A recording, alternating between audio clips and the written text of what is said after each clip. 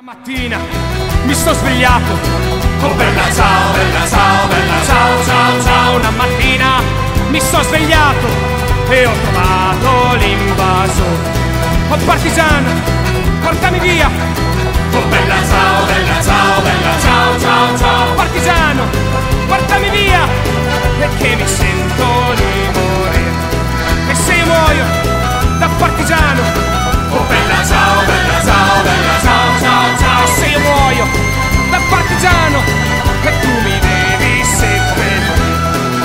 seppellire, lassù in montagna. Oh bella ciao, bella ciao, bella ciao, ciao, ciao. Seppellire lassù in montagna. Sano, laurea magistrale all'Università di Foggia con 110 e lode, in filologia moderna, cultrice di storia della storiografia, appassionata di storia moderna, che già precedentemente, il 20 ottobre mi pare, Sì. no? ci Il 20 ha fatto una conferenza molto interessante sulle donne durante il ventennio fascista. Io penso che oggi questo sia un utile prosieguo perché invece ci parlerà delle donne durante la resistenza. E un po' a tutti forse viene un po'... eh, per questo periodo è più facile associare delle immagini no? a questo periodo delle donne della resistenza, no? quella bellissima ragazza eh, del giorno della liberazione, felice, queste donne felici accanto ai loro uomini e quindi la resistenza ha rappresentato dopo l'8 settembre per molte donne un momento utile per, per essere protagoniste della storia e non più eh, subire la storia. E, mm, la maggior parte di loro hanno partecipato alla lotta partigiana, anche se alcune, vero, mi pare che eh, alcune sono comunque rimaste un po' angorate, ma una netta minoranza invece a- alla, al- alla Repubblica di Salò, quindi Esatto. all'ideologia fascista. E quindi stasera ci parlerà, non do la parola alla professoressa, è molto più importante quello che dice lei, ci parlerà appunto delle donne. Dopo, dopo settembre, eh? A posto, a a scongiurato. Grazie. Allora io ringrazio insomma della presentazione così lusinghiera che è stata, essere stata fatta, ringrazio tutte voi per la presenza, per l'attenzione, per due strade che eh, un po' parallele, no? che non si incontrano mai, ma che in realtà nascono da uno stesso bisogno di autonomia, di indipendenza, quella appunto delle partigiane, che è la strada della maggioranza poi delle donne, e l'altra che forse è poco conosciuta, ma un po' condannata alla damnazio memorie, ma che io ritengo ugualmente importante perché ha rappresentato un fenomeno comunque significativo e anche un unicum nella storia d'Italia, come vedremo più avanti, che è quella delle donne che aderirono alla Repubblica Sociale di Salò, al SAF, Servizio Ausiliario Femminile. Allora, partiamo con ordine. Io ho scelto per iniziare questa frase di Wilde che mi sembrava molto appropriata al contesto, date alle donne occasioni adeguate ed esse possono fare tutto. Allora, iniziamo con la presentazione. Io, questa, questa volta le slide funzionano, il computer è adeguatamente collegato.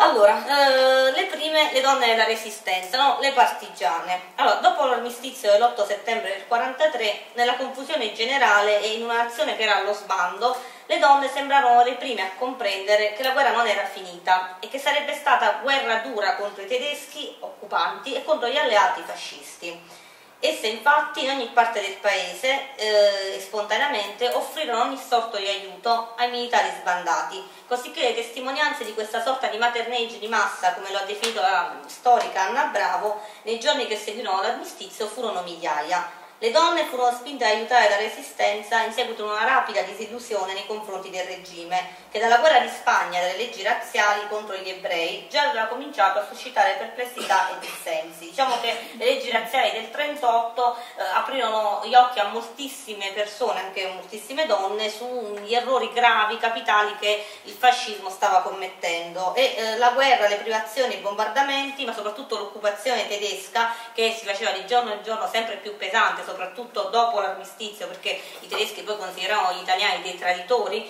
e eh, sostanzialmente portarono le donne italiane nella loro grande maggioranza a decidere di fare qualcosa per il proprio paese. Perciò loro nel disastro e anche nella vergogna delle alte gerarchie, perché purtroppo l'esercito italiano si sbandò in, in quei momenti, nei giorni dell'armistizio le donne trovavano la patria, però non la patria retorica o geografica, neanche la patria fascista, ma la patria intesa come casa comune e cosa comune, cioè la patria di tutti e quindi anche delle donne. La lotta di liberazione fu una presa di coscienza individuale e di massa e le donne entravano nella storia nel momento di massimo avvilimento, di maggiore difficoltà di una nazione che era sbandata ed era accusata di tradimento e viveva quindi un momento di grande difficoltà. Nelle campagne furono spesso le contadine, dall'Abruzzo al Veneto, rimaste sole nei casolari con gli anziani, con i bambini, quindi con il peso anche delle famiglie da mandare avanti, a raccogliere, a nascondere, a nutrire gli sbandati e gli ex prigionieri ma l'organizzazione si creò soprattutto nelle città e nei paesi. Tutte le mille risorse che il genere femminile aveva sempre trovato per il benessere della famiglia erano impegnate per la salvezza dei partigiani, che da questo aiuto generoso erano spinti a riprendere coraggio e vigore. Quindi il supporto che le donne diedero anche eh, ai partigiani, prima ancora di decidere poi loro stesse di, eh, di diventare partigiani, fu fondamentale. Ben presto, su suggerimento dei partiti del Comitato di Liberazione Nazionale, le donne iniziarono a darsi una struttura e un'organizzazione che eh, era ben definita. Infatti nel novembre del 1943 a Milano alcune dirigenti del Comitato di Liberazione Nazionale, come Giulietta Fibi e Rina Piccolato, comuniste, Laura Conti e Lina Merlin, socialiste, Elena Dreher e Ada Gobetti, azioniste, gettarono le basi di organizzazione femminile di massa che prese il nome di gruppi di difesa della donna e di assistenza ai combattenti. Allora, io ho preparato due slide, tre slide su, con alcuni profili biografici di tre donne significative. Purtroppo non ho potuto ovviamente eh, provarle di tutte, però tre figure mi hanno particolarmente colpito. Una sicuramente la conoscete, Lina Merri, insomma, sicuramente la, la conosciamo tutte, che visse l'infanzia e la giovinezza a Chioggia, diplomatasi maestra elementare, proseguì gli studi in Francia e conseguì così l'abilitazione all'insegnamento del francese nelle scuole medie. Si oppose al primo conflitto mondiale e nel 19 si iscrisse al Partito Socialista Italiano. Durante il regime, per essersi rifiutata di prestare il giuramento fascista, fu dimessa dall'insegnamento. Arrestata a più riprese, nel 26 per la sua attività antifascista, fu condannata a 5 anni di confino in Sardegna. Dopo l'8 settembre 1943 prese parte alla guerra di liberazione nelle file della Resistenza e dopo la liberazione, entrata nella direzione del Partito Socialista, fu tra le fondatrici dell'UDI, Unione Donne Italiane. Eletta al Senato nel 1948, fu rieletta nel 1953. Nel 1958 passò alla Camera e tra le sue iniziative parlamentari mette la più conosciuta quella della chiusura delle case chiuse, che poi entrò in vigore il 20 settembre del 1958, molti anni dopo la presentazione della proposta di legge. Poi un'altra figura interessante è Ada Gobetti, Ada Prospero, sposata Gobetti, che eh, fu la, la, moglie di Piero Gobetti, uno dei maggiori esponenti dell'antifascismo, molto molto giovane in carcere in seguito comunque agli attacchi squadristi, alle percosse subite e che sposò Piero nel 23, negli anni del fascismo fu al centro di una rete clandestina di intellettuali che avrebbe portato alla costituzione del movimento Giustizia e Libertà, di cui,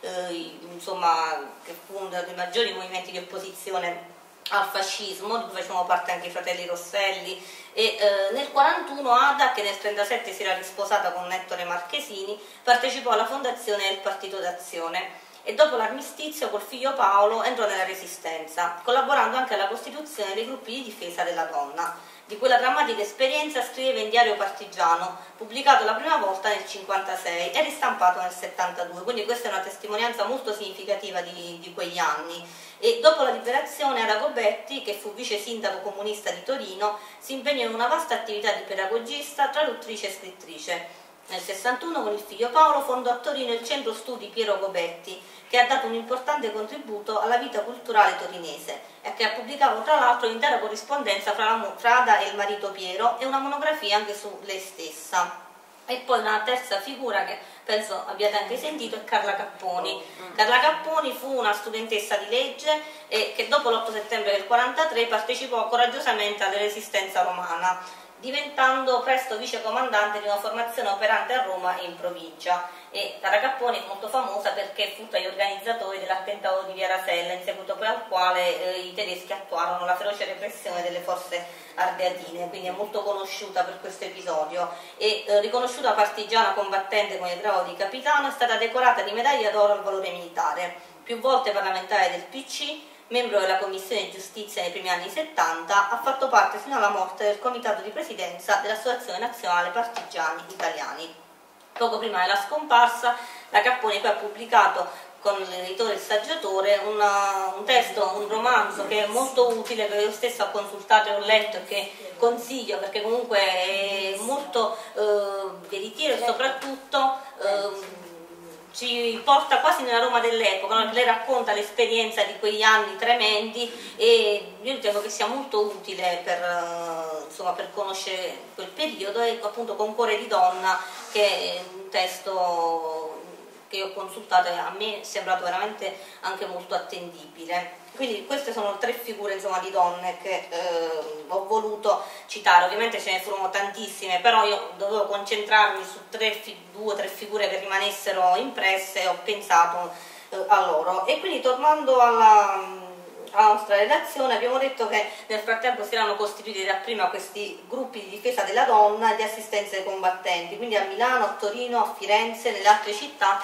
i gruppi di difesa della donna si diffusero dall'inverno del 43 alla primavera del 44, iniziando a coinvolgere soprattutto donne ignare di politica, consapevoli però che una scelta antifascista e antitedesca avrebbe affrettato la pace, che era poi ovviamente lo scopo fondamentale che le donne volevano, si prefiggevano di raggiungere. E nei gruppi di difesa della donna confluirono gruppi che già esistevano di fatto, formati da comuniste, socialiste, repubblicane, cattoliche, cui si vennero ad aggiungere soprattutto donne prive di formazione ideologica politica, convinte dalle più consapevoli della necessità di partecipare al riscatto della patria. E di fronte alla proposta della nuova organizzazione molte si opponevano, sostenendo che le donne già facevano parte dei gruppi di azione patriottica, dei cosiddetti GAP, e che non c'era bisogno che nascesse anche una specifica organizzazione femminile. Poi alcune donne trovavano molto da ridire anche sulla denominazione, perché sembrava una denominazione calata dall'alto e volta a minimizzare l'azione delle donne, già in partenza definita come di difesa e di assistenza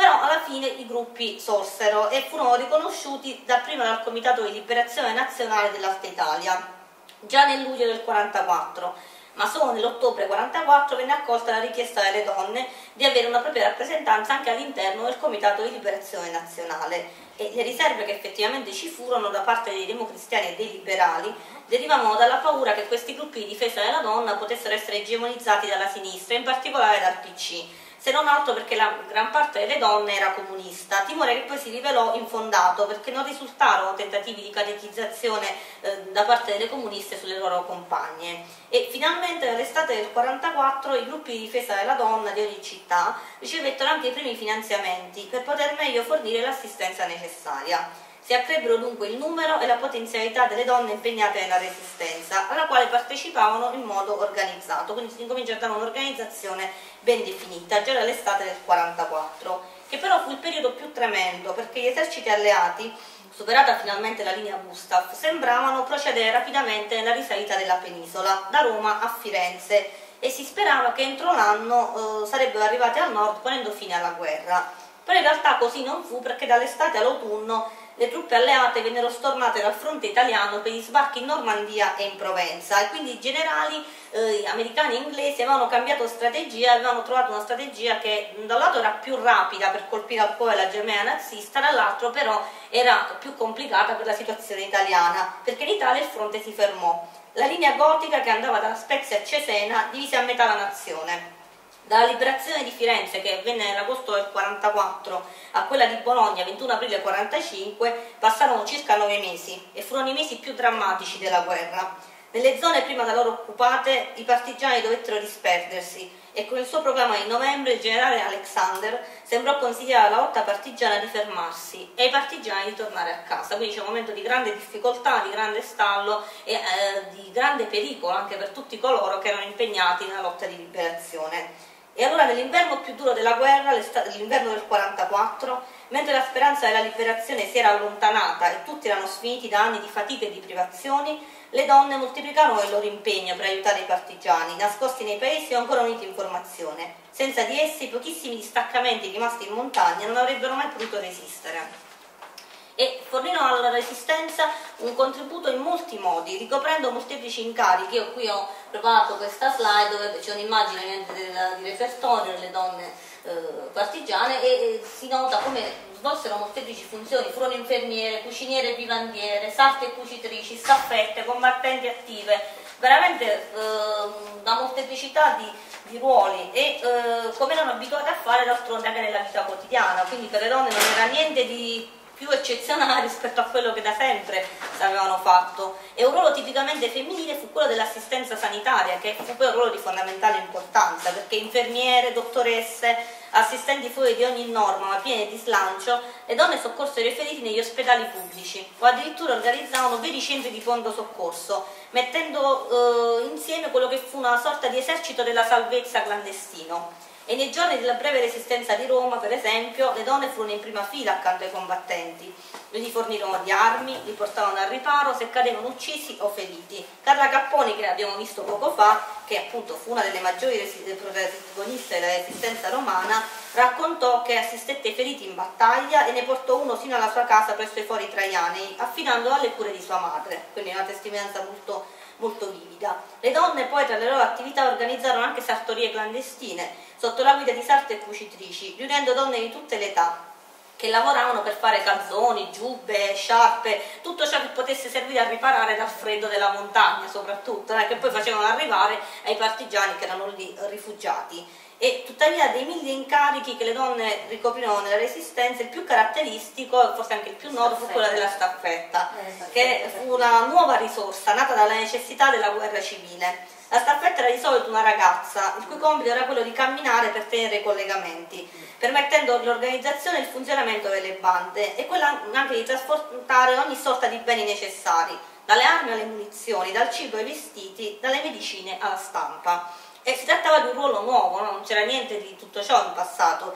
che rendeva visibile un elemento che prima della guerra era forse impensabile, l'elemento della libertà perché eh, libertà che le condizioni eccezionali del vivere avevano regalato alle donne, le quali anche giovanissime andavano in giro dappertutto, attraversavano i villaggi, discendevano le valli e passando per i posti di blocco tedeschi e fascisti. Spesso si muovevano in bicicletta, ma talvolta si muovevano anche a piedi, nella neve, nel fango sotto il sole e dovevano spostarsi anche in treno, trascinare carrette di fortuna, servendosi per il trasporto anche di eh, strumenti, di arnesi femminili, grandi borsi della spesa, giarrettiere, giseni, tutto ciò dove si potesse nascondere il necessario. Agli occhi insomma, dei tedeschi e eh, dei fascisti. E si rischiava certamente, la staffetta lo sapeva perfettamente, questo faceva parte di quella sorta di libertà e della eh, scelta che la giovane aveva compiuto le staffette erano donne che avevano deciso di partecipare in prima linea e di correre di conseguenza tutti i rischi che questo comportava, da quello di essere trattenute imprigionate a quello di subire violenza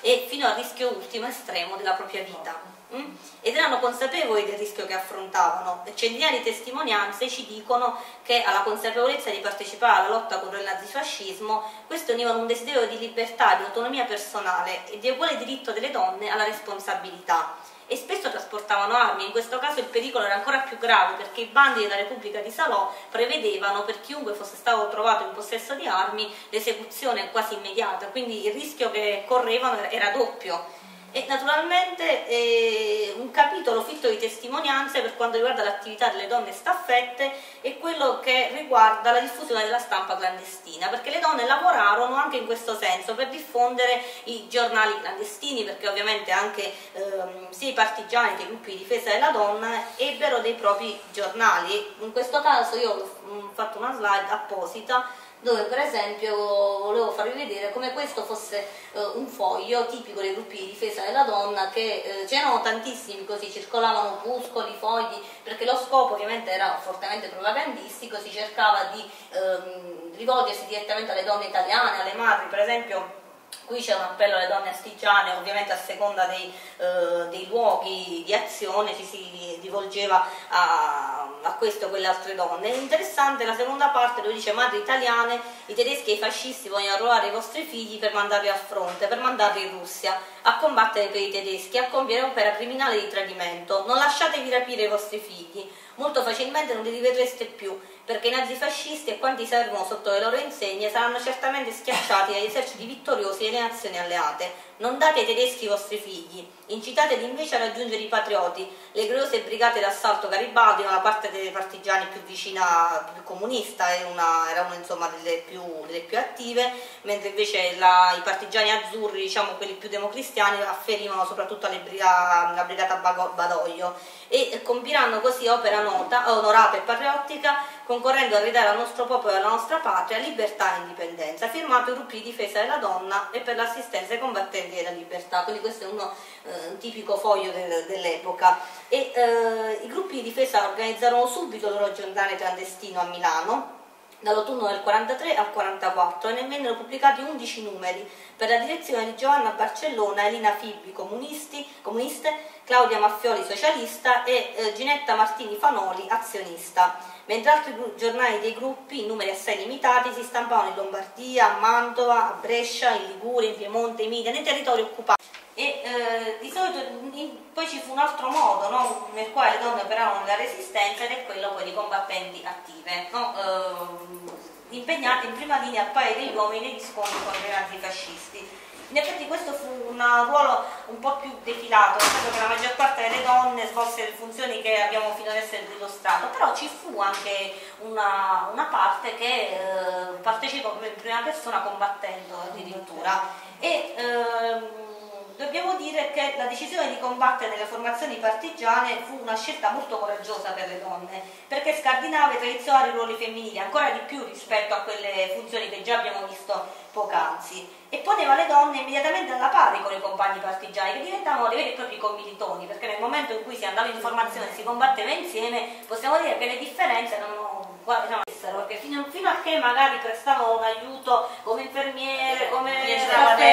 maiale, sì, era anche staffette no perché era, era terribile beh sì certamente però vedere col fucile in mano. la cucinitrice eh, eh, poteva essere già accettabile però nel momento in cui vedevamo le donne con, il fucile in mano era già più complicato da accettare per loro e le donne che andavano in formazione scegliendo così la lotta armata erano poche rispetto a, alle altre perché le conveniva perché come al solito in quanto donna doveva dimostrare di essere ancora più brava. E era veramente faticoso essere donna e contestualmente essere donna partigiana. Quindi è come se dovessi dimostrare avessi dovuto dimostrare il doppio per farsi accettare sostanzialmente un ruolo che era così fuori dagli schemi. E nelle testimonianze femminili questo disagio maschile appare evidente perché spesso i partigiani anche quando le donne arrivavano in brigata tendevano a affidare loro incarichi tipicamente femminili, dimostrare guadagnandosi rispetto sul campo, nella vita in comune e nella lotta armata.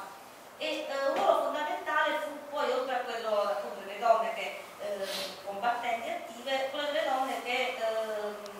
nelle fabbriche eh, svolsero azioni di disturbo e di sciopero rifiutandosi di collaborare con i nazifascisti perché gli scioperi del marzo 43 coinvolsero nelle fabbriche del nord la molla che scattò in loro fu eh, il timore di vedere i mariti, figli, fratelli, padri che rischiavano di essere deportati e si doveva impedirlo a tutti i costi. Per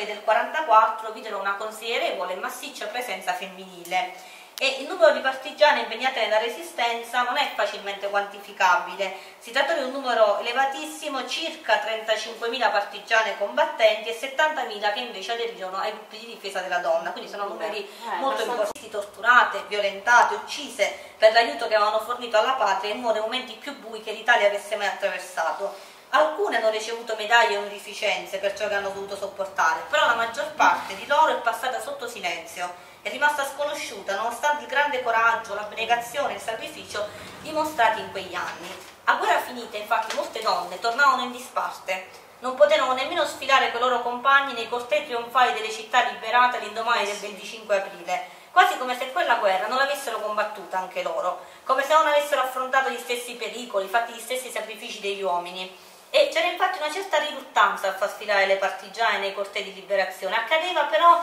eh, sempre quasi con un timore, con, eh, con paura. Eh, essa fu il preludio a quel silenzio che da allora coprirà centinaia di storie vissute da questismo che si era diffuso e altre per rabbia, per amarezza di non vedere riconosciuti comunque quelli che erano stati i loro meriti. Le partigiane dunque nella grande maggioranza non solo non furono sollecitate a parlare della loro esperienza bellica, dall'interesse di familiari, associazioni partigiane e studi della resistenza, ma anzi compresero che non bisognava parlarne più. Quella stagione splendente rimase nella loro memoria come la giovinezza, però molte smisero di raccontare, smisero semplicemente di parlarne, proprio per la disillusione di come erano state trattate e nelle loro testimonianze le donne non tesero a esaltare le loro gesta, anzi anche quando abbiamo i racconti tendono sempre a sdrammatizzare quello che hanno fatto con una certa dose di ironia e talvolta affermano addirittura di non aver fatto nulla di così eccezionale, anzi la maggior parte di, di loro tornata a casa non sollecitò riconoscimenti ufficiali. Entrata sulle donne che mh, fecero tutto un altro tipo di scelta, la scelta opposta rispetto a quelle delle partigiane, cioè le ausiliarie del servizio ausiliario femminile. E quando io scrissi insomma, la mia tesi triennale e eh, arrivai a questo terzo capitolo che è poi incentrato su appunto, le donne dopo l'8 settembre del 43, dopo aver parlato delle partigiane e eh, mi trovai davanti a eh, quest'altra parte di storia no? che fino a quel momento io conoscevo ben poco, come anche credo molti di voi, perché non si parla molto di questo aspetto, c'è una sorta di damnazio memoria, un po' perché la storia la fanno i vincitori. Io credo che chiunque voglia fare storia in maniera seria e dedicarsi alla ricerca storica non debba dare un giudizio morale, non, non sta a noi giudicare, cioè, oddio, sta a ognuno di noi ovviamente. Eh, giudicare chi, quello che ritiene giusto o sbagliato, però non perché magari un comportamento si può ritenere sbagliato, non se ne deve parlare, assolutamente, cioè, non mi sembrava giusto nel momento in cui ho scritto la mia tesi concentrarmi solo sulle donne partigiane, pur essendo magari la mia simpatia più vicina a loro, pur, pur riconoscendo ovviamente i meriti, però non per questo mi, sembrava serio anche dal punto di vista di una ricerca storica condannare alla damnazio memorie. Secondo me, siccome hanno rappresentato un fenomeno anche importante, un po' un unicum anche nella storia italiana, perché poi donne eh, soldati reggimentati in un esercito così ordinato, fino a quel momento non c'erano state, mi sembrava doveroso comunque parlarne. Poi è chiaro che ognuno maniera di sostenere il regime fascista e eh, furono le cosiddette ausiliarie del Stato, servizio ausiliario femminile. Queste donne formavano un corpo militare di circa 6.000 ragazze, primo esempio nella storia italiana di volontarie inquadrate nelle forze armate, come già accadeva in Inghilterra, negli Stati Uniti e in Germania. Un impulso fondamentale alla costituzione di questo corpo di donne soldato venne dal giornalista Concetto Pettinato, mm, che fu un po' l'ideologo, diciamo così, della, di questa figura di donne, e eh, richiamato da Mussolini a dirigere la stampa dal suo quasi esilio, eh, ventennale esilio svizzero. E concetto pettinato, io qui ho riportato le parole che lui scrisse sulla stampa proprio per incitare le ragazze ad arruolarsi sulla stampa del 13 gennaio del 44 lui scrive quando parliamo di uomini non dobbiamo dimenticare che fra gli uomini ci sono le donne. E stanno a dirsi le donne sono sempre state nelle ore di disperazione l'ancora di salvezza dei popoli. Qui c'è un'immagine proprio poi una frase eh, corretta. sì che poi voglio dire ecco non è a parte quello strato a dirsi però chiaramente. mm. E c'è un'ideologia. No, no, no, infatti c'è un'immagine di repertorio proprio di una delle prime eh, parate che eh, le ausiliarie fecero, credo che, sì, che sia proprio una delle prime, perché poi c'è questo elemento della parata che sicuramente come ricorderete dal convegno dell'altra volta era poi tipica della, del regime e loro ovviamente la riprendevano in pieno. Questa è una delle prime parate eh, fatte dalle donne del SAF. Oh, e quindi Concetto Pettinato con queste parole voleva cercare di esaltare no, le giovani combattenti, rilanciando i miti di Esther, Giuditta, Giovanna d'Arco, Anita Garibaldi, tutte le grandi donne guerriere sostanzialmente. E fu un successo immediato perché le aspiranti furono molto numerose, vennero indirizzate ai gruppi fascisti repubblicani femminili presenti in ogni delegazione provinciale del partito che facevano capo all'ispettorato nazionale, diretto da, a Brescia da Alice Abruzzese, già ispettrice nazionale dei fasci femminili dall'agosto 40 al 25 luglio 43. E i gruppi femminili selezionavano le donne fra i 20 e i 40 anni di età che non avessero figli di età inferiore ai 14 anni e le invitavano a restare a disposizione. Furono alloggiate momentaneamente in qualche albergo vicino alle federazioni o in case private e ci fu un'ondata di entusiasmo perché si presentarono operaie, studentesse, giovani giornaliste, figli di contadini, quindi comunque uno scenario molto variopinto, anche molto stratificato, che afferiva a diversi livelli sociali. E allora perché ci furono così tante adesioni? Nel momento in cui il regime stava comunque per finire era abbastanza evidente insomma, questo aspetto, era difficile pensare che il regime si potesse riprendere, sì c'era la propaganda, però era chiaro dopo l'armistizio la piega che gli eventi stavano prendendo. Allora perché tutte queste adesioni di ragazze anche molto molto giovani? Si è cercato, gli storici hanno cercato insomma, di trovare delle motivazioni e possono essere motivazioni molteplici, innanzitutto la ricerca di una maggiore identità, il bisogno di sentirsi protagonista del proprio destino, quindi mh, la stessa situazione, stesso, magari ecco, eh, diciamo che il bisogno, la necessità di indipendenza, di libertà che caratterizzò sia le partigiane che le ausiliari è più o meno lo stesso, poi ovviamente la finalità, la mentalità, lo, ovviamente il, eh, la, ecco, la, lo scopo è differente, però alla base c'è uno stesso desiderio di, di libertà, che ovviamente è come se si trattasse di due facce di una stessa medaglia. questo è importante da considerare. E quindi al contrario delle partigiane spinte ad andare a combattere dal rifiuto delle ingiustizie e dal desiderio di costruire una società nuova, quindi dal rifiuto del regime, invece gli ausiliari si arruolavano per fedeltà a un regime che consideravano immutabile e per un amore viscerale nei confronti di Mussolini. Eh. E qui vi invito ecco, a ricordare quello che abbiamo detto già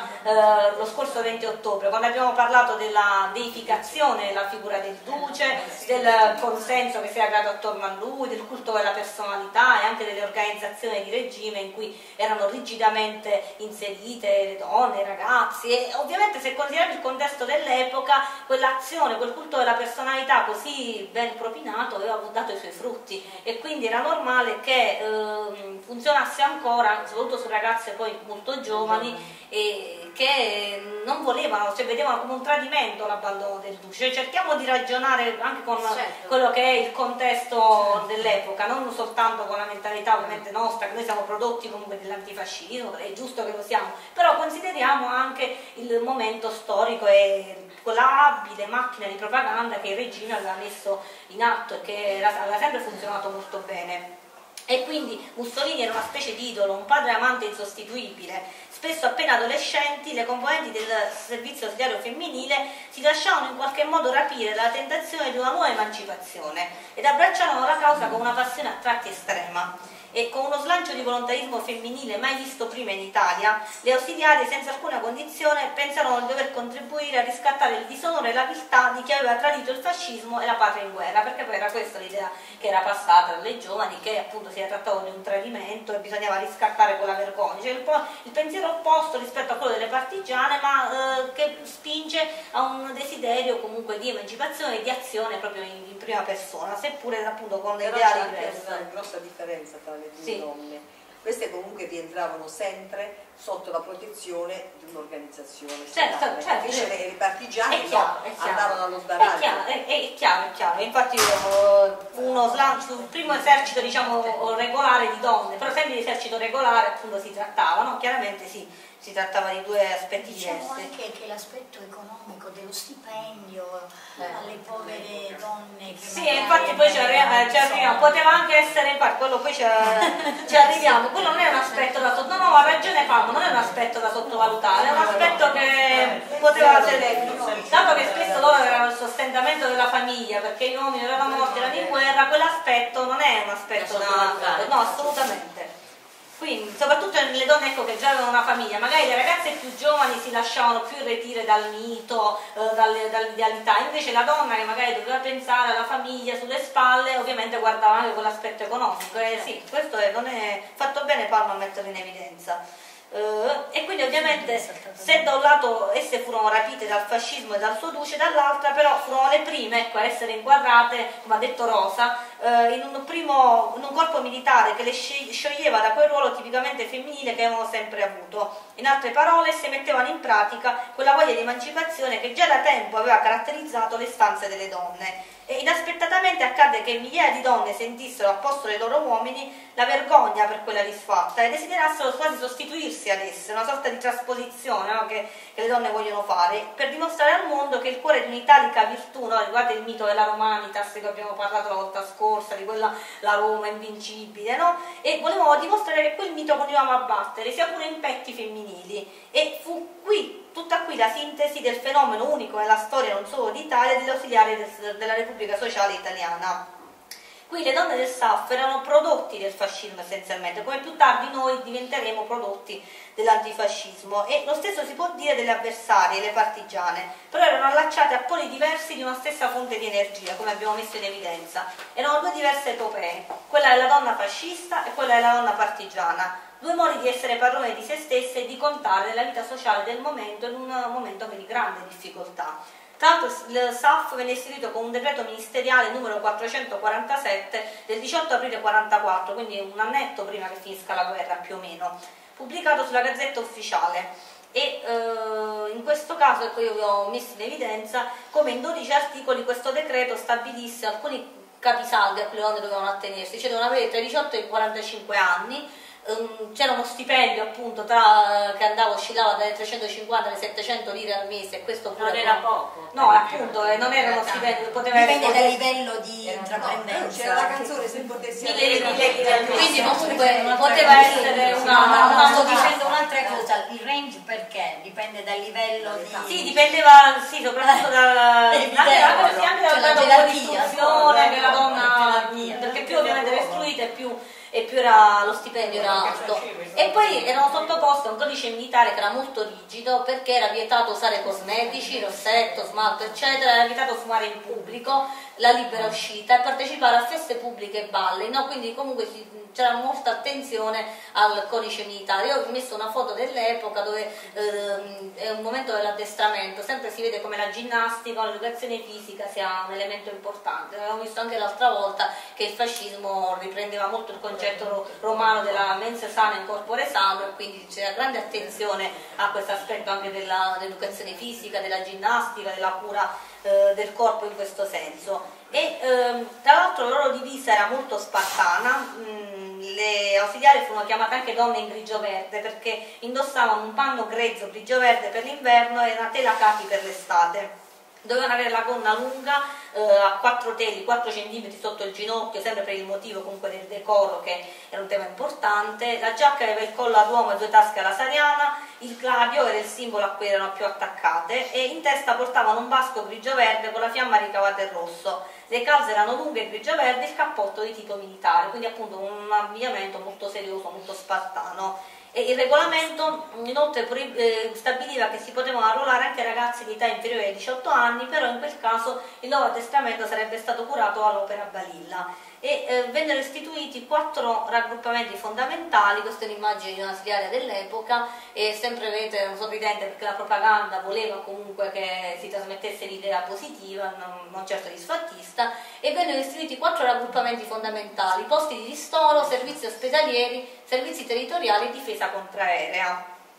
E tra l'altro le domande di arruolamento furono abbastanza numerosi, 5.771 a fine maggio 44. I corsi in totale furono 6, la durata di due mesi ciascuno, e avevano i nomi retorici dell'epoca, Italia, Roma, Brigate Nere, Giovinezza, Fiamma e l'ultimo si chiamò 18 aprile 45. E la vita dei corsi di addestramento era molto impegnativa, la disciplina era ferrea e le giornate erano scandite dagli squilli di tromba, sveglia alle 6, alzabandiera alle 7, colazione alle 7.30, cambio della guardia alle 8, ginnastica alle 8.30, addestramento militare alle 9.30. Il resto della mattinata e il pomeriggio erano dedicati alle lezioni, leggi di guerra, educazione fisica e materie relative alle varie speci- specialità che poi ciascuno eh, sceglieva, quindi infermiere, marconiste, stenodattilografe, radiotelegrafiste, autiste, interpreti, economia domestica. sì, telefoniste, contabili, cuciniere, insomma a seconda della specialità prescelta. E c'era anche l'addestramento all'uso delle armi, perché eh, benché le ausiliari non fossero armate, però dovevano essere in grado di difendersi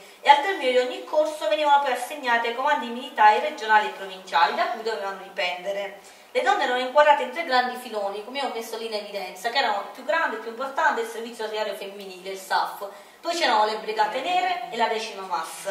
Allora, il servizio ausiliario femminile ehm, era quello più, più numeroso, fondamentale, e in cui le donne, come abbiamo visto, non erano armate, però si dovevano comunque saper difendere per ogni evenienza. E eh, la comandante del SAF era Piera Gatteschi Fondelli, la contessa Piera Gatteschi Fondelli, che fu il punto di riferimento del SAF e eh, che però si dimostrò contraria ad armare le ausiliarie perché lei riteneva che se le ausiliarie fossero state armate poi sarebbero state facilmente impiegate in, opera di, in operazioni antiguerriglie e quindi le si poteva es- esporre anche a un pericolo più grande. Era- diciamo che la contessa, Pi- eh, la contessa- la contessa Piera Gatteschi Fondelli si era resa conto che eh, no no ti, com- ti comporti come ti stai condannando essenzialmente.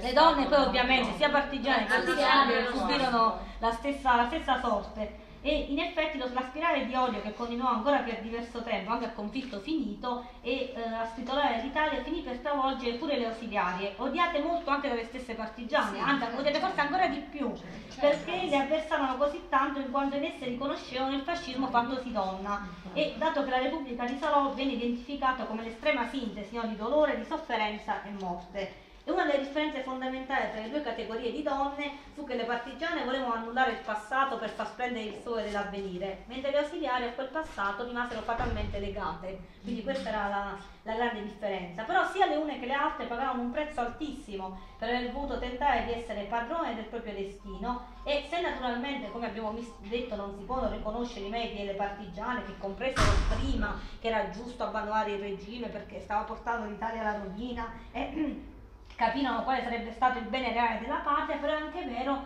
che si deve riconoscere che l'uccisione di molti ausiliari a conflitto ormai concluso, con quell'efferatezza, con quei modi, e certamente non fu che l'ennesimo atto di barbarie e di disumanità di una guerra che spesso aveva cancellato ogni traccia di umanità in coloro che l'avevano combattuta da entrambe le parti, quindi questo è importante che che lo sottolineiamo. Una guerra che aveva senza dubbio viste protagoniste le donne e che servì da trampolino di lancio poi fondamentale per tutti i diritti futuri, in primis quello di voto che si ottennero poi nell'immediato dopoguerra col 2 giugno del 46, però che in cambio aveva richiesto loro un tributo davvero molto alto. E poi c'è una cosa che vi ho proposto, se può essere interessante, una breve bibliografia sia sulle donne della resistenza sia sulle donne ehm, ausiliari. Io ho trovato molto interessante il libro di Maina Dissa Saba sulle partigiane, di Anna Bravo anche in Guerra senza armi, storia di donne, molto bello, e eh, la resistenza taciuta e poi per eh, il tema invece delle donne ausiliarie, senza dubbio il memoriale eh, di Luciano Garibaldi su quanto gli ha mh, scritto da Gatteschi Fondelli, le donne soldatesse di Mussolini, e poi Donne di Salò e Donne in grigio verde di Marino eh, Viganò.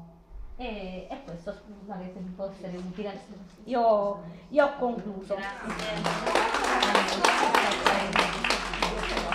Sì, sì, sì, sì, è una, una bibliografia abbastanza recente. Sì, soprattutto per quanto riguarda le donne di Salò è, un tema che sta emergendo eh, sì, dopo. Diciamo man mano che si allontana, si stacca. Sì, sì.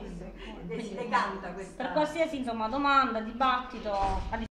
l'onorabilità, che era un po' anche come abbiamo visto prima per le partigiane, non potevano stare in formazione perché non, le famiglie magari non volevano che dormissero con gli uomini e ovviamente lei rispecchia un po' questa che la mentalità dell'epoca. E soprattutto c'è questo rammarico per non essere riuscita a salvare tutte le ragazze che avevano fatto parte del SAF e infatti in un primo momento proprio per questa paura si decise il 18 aprile del 45 che era il giorno dell'ultimo un corso di addestramento, del giuramento dell'ultimo corso di addestramento, di smobilitare il SAF e di rimandare alle proprie case le ragazze, nella speranza di ridurre le vendette e le ritorsioni che era evidente ormai, con la guerra stava, fini, stava finendo, si sarebbero inevitabilmente verificate su chi aveva sostenuto il regime. E il timore della Gatteschi non si rivelò affatto infondato poi, perché dal momento che tra l'aprile e il maggio del 45, quindi in un mese circa, furono uccise circa 300 ausiliarie e spesso dopo essere state torturate e violentate. Ciò avvenne, cosa più assurda, alla conclusione delle ostilità. Cioè, la guerra finita, comunque queste donne furono vittime di ritorsioni e a pace fatta, no? di tortura, di stupri. Come, cosa tagliavano i capelli perché è chiaro, eh, esatto, eh, esatto, esatto,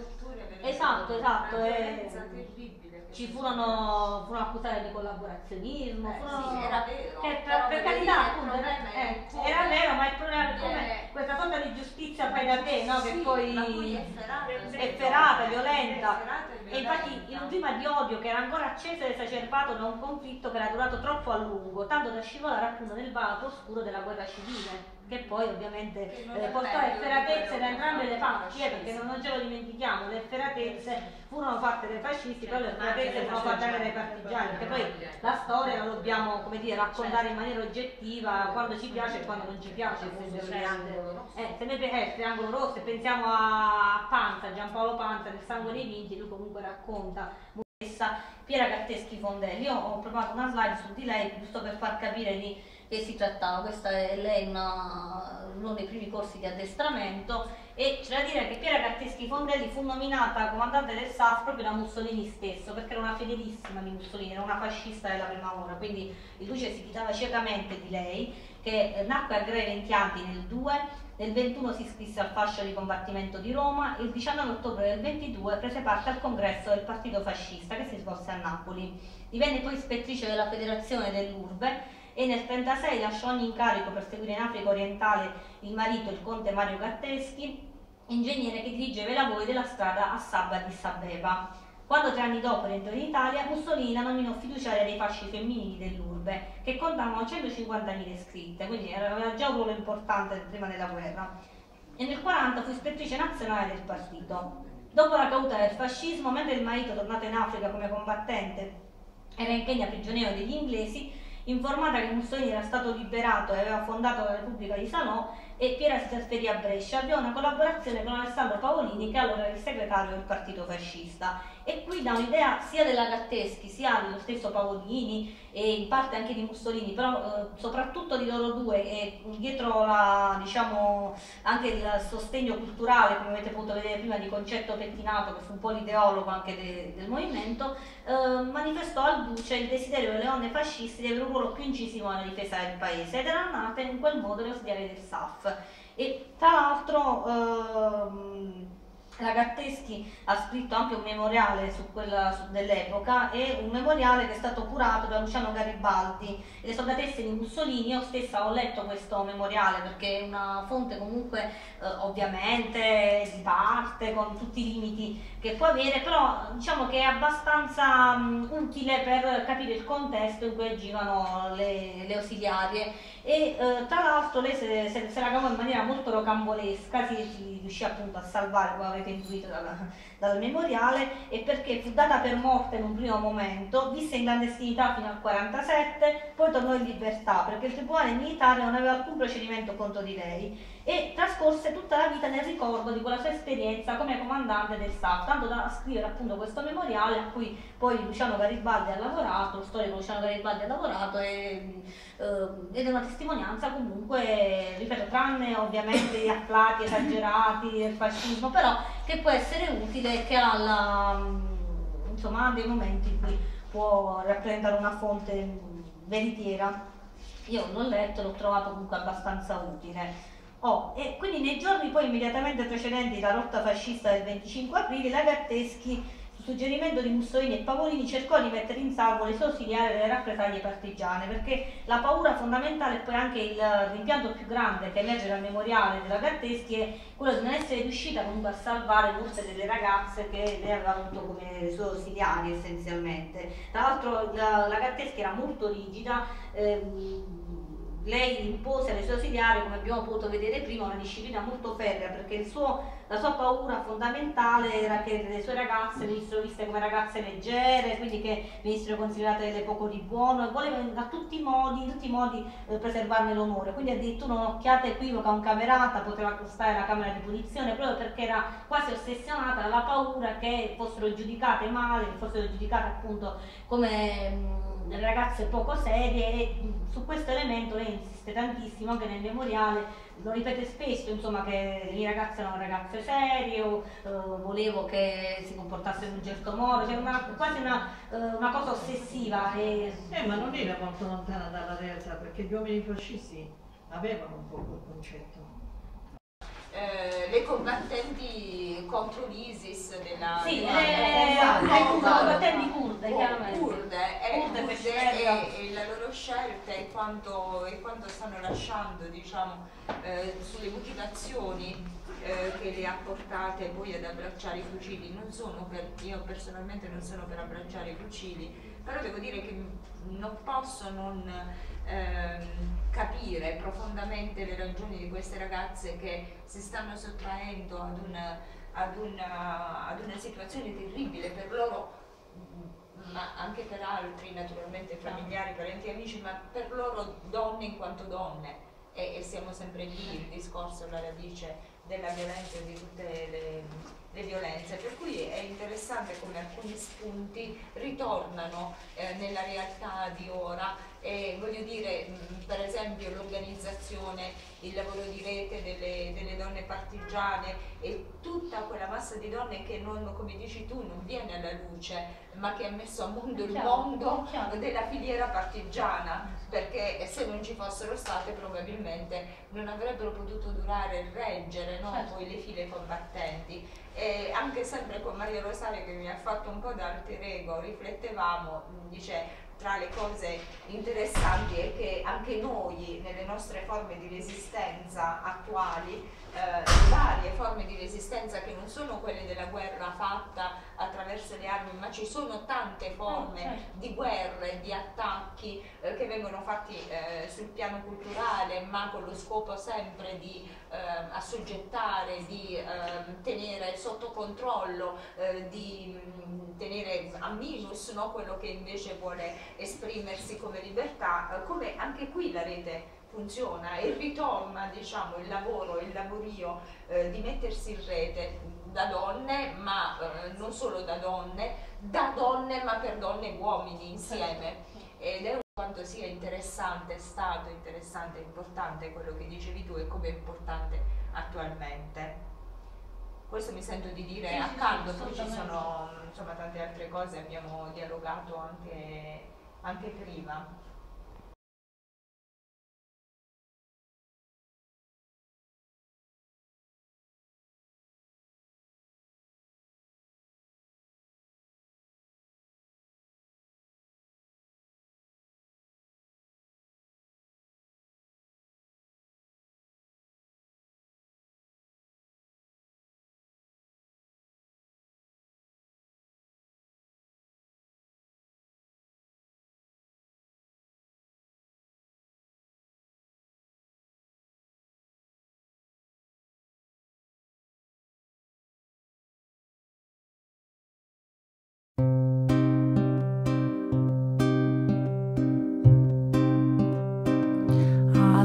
Mattina